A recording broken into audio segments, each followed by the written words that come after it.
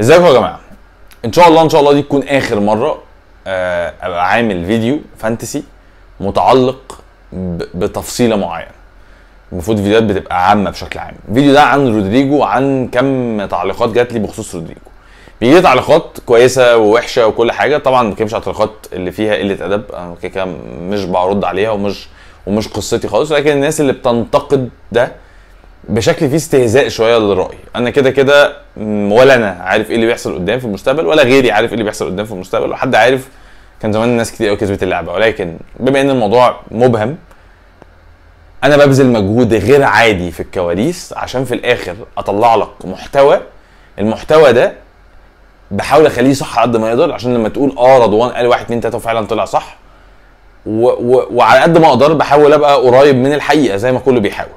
لكن يا جماعة عايز أقول لكم على حاجة هي شغلانة سهلة جدا جدا جدا. إن ألاقي لعيب جاب نقط واقول لكم يا جماعة اشتروه. يعني لأن أنتوا already هتروحوا تشتروه. يعني لما ألاقي رودريجو جاب جون آه، نقط 15 نقطة ضد ساوثهامبتون في الأسبوع الثاني وطلعت قدام الفيديو وأقول لكم يا جماعة رودريجو لعيب جامد جدا. روحوا اشتروه.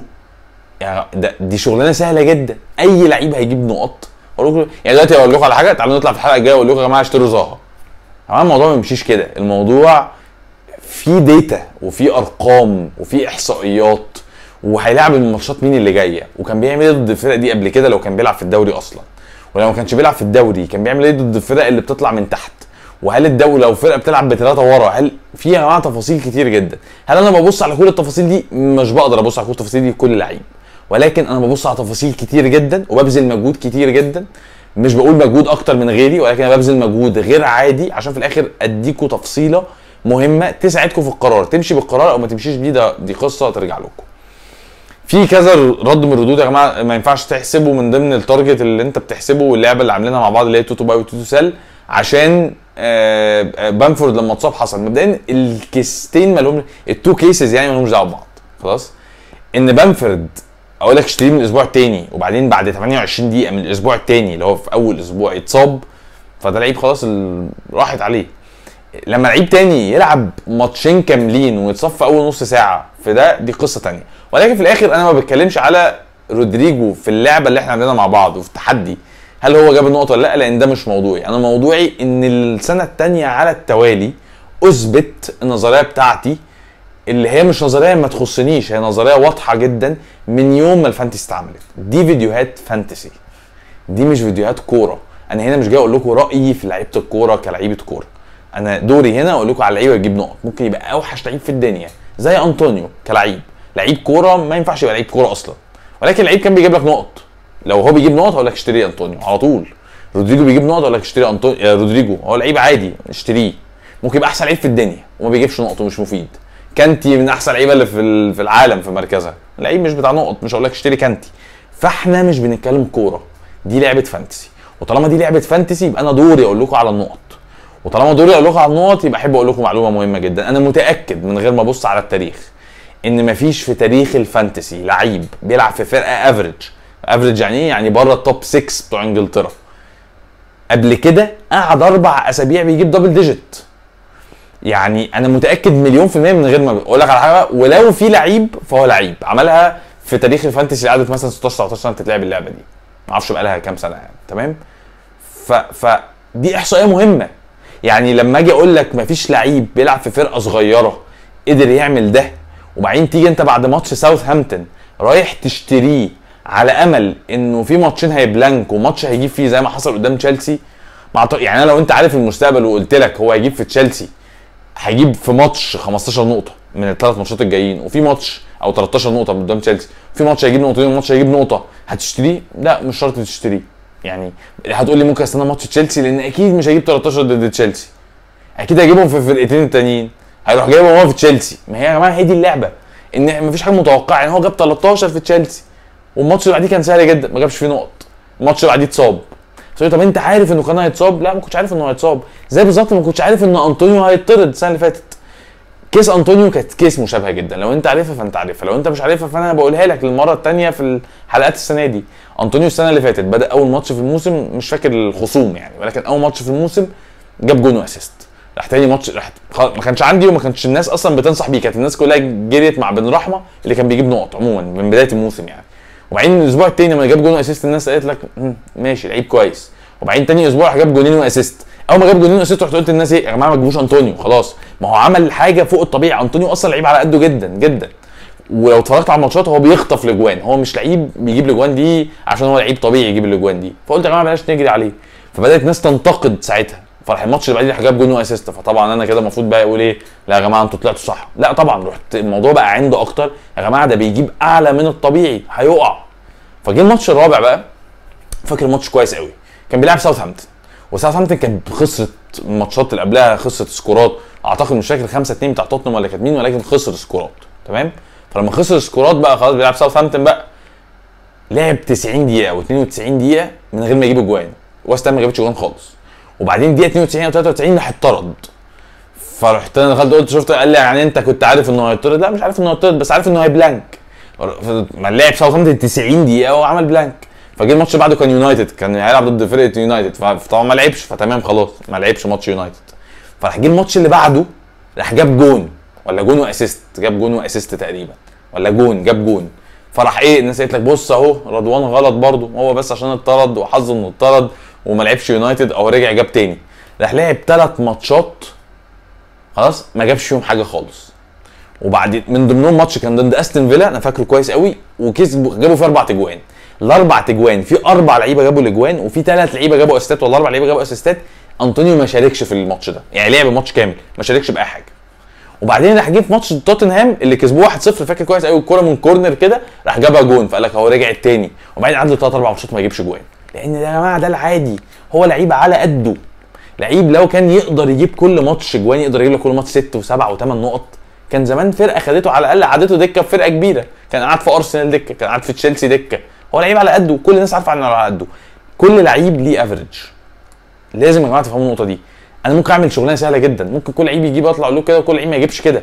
أنا بحاول أشوف لكم اللعيبه اللي الناس بتجري عليه عشان تبقى أنت مختلف وأنت بتختار لعيبتك تبقى مختلف عن بقية الناس.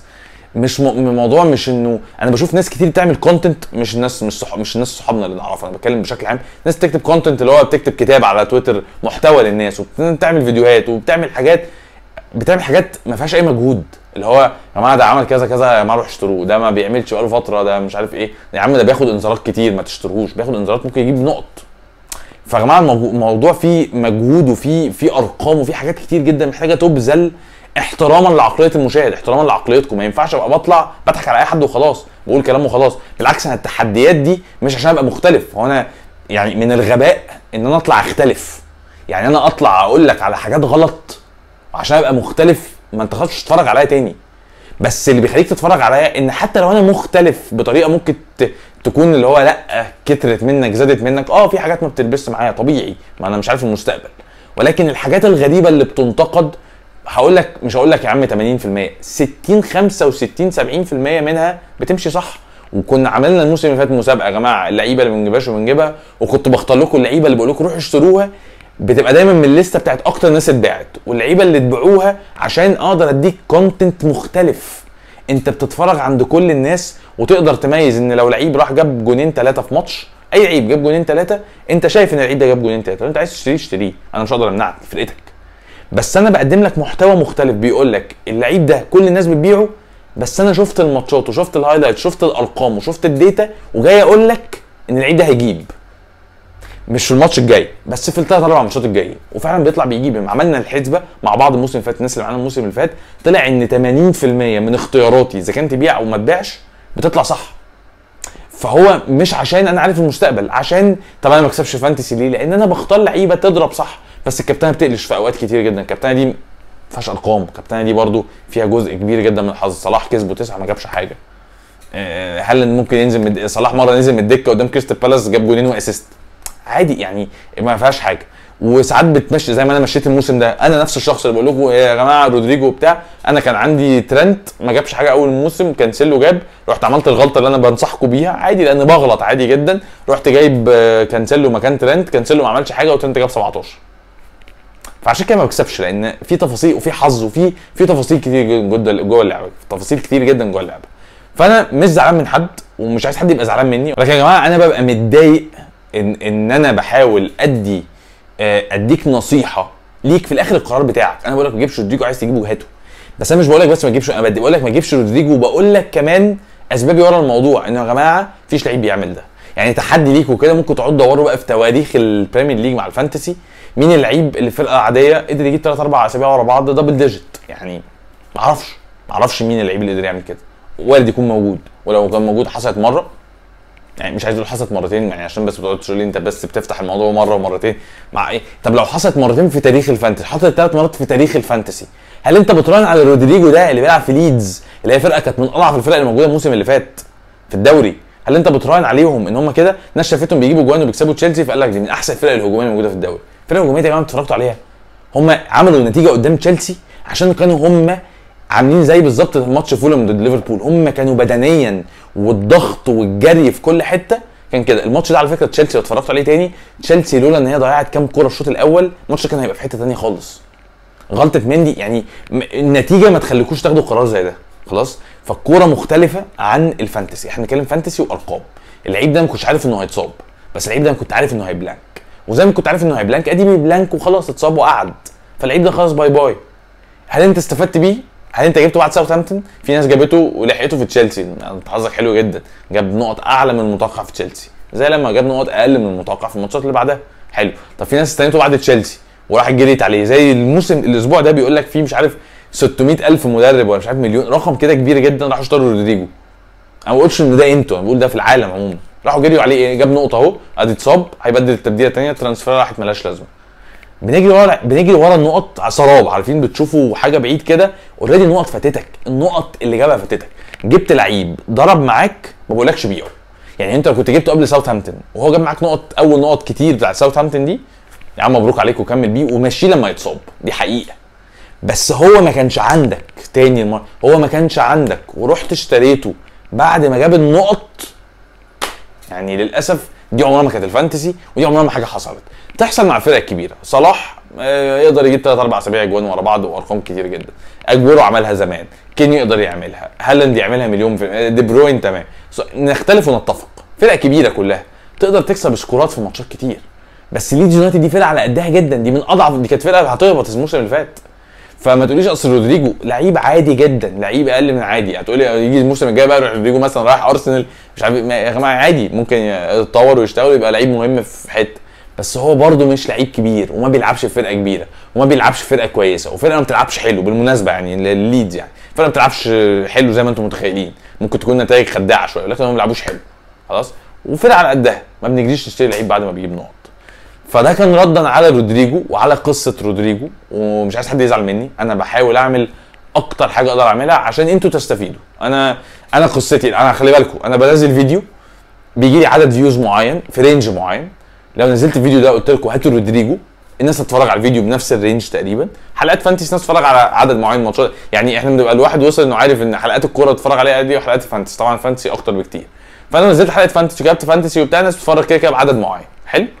فانا بالنسبة لي تفتكروا أنا احسن لي امشي مع القطيع؟ آه كل الناس بتقول لك هات رودريجو راح قايل لك هات رودريجو وراح دماغي ولا؟ أنا بقعد ابذل مجهود عشان انزل الحلقة عشان تتفرجوا عليها غير عادي.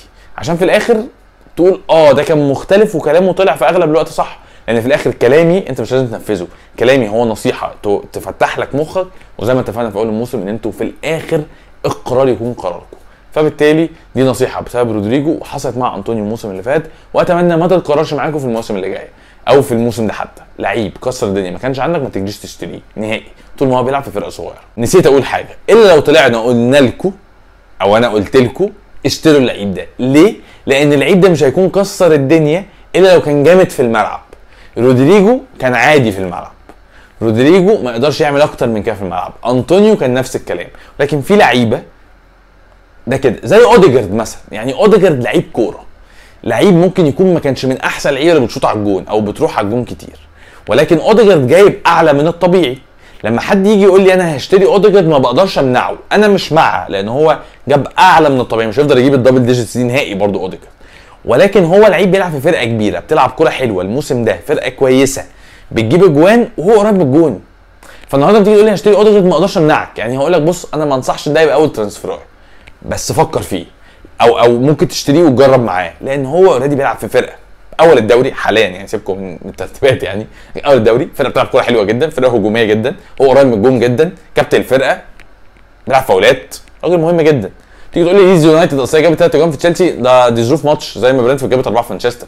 زي ما مليون نتيجة حصلت ما كانتش منطقية. آه، أستون فيلا جابت في ليفربول سبعة. توتنهام كسبت في مانشستر ستة. النتائج كلها مش منطقية. فما تبنوش حاجتكم على شوية تفاصيل كده مالهاش أي لازمة. آه بس كده ده كان كلامي على رودريجو. أتمنى ما تاخدوش الكلام ب... ب... تاخدوه بصدر رحب كده ويبقى الموضوع ما فيهوش أي حاجة خالص. كل في الآخر ده عشان مصلحتكم عشان يبقى ال content والمحتوى لصالحكم. بس كده أشوفكم إن شاء الله في حلقة جاية. سلام.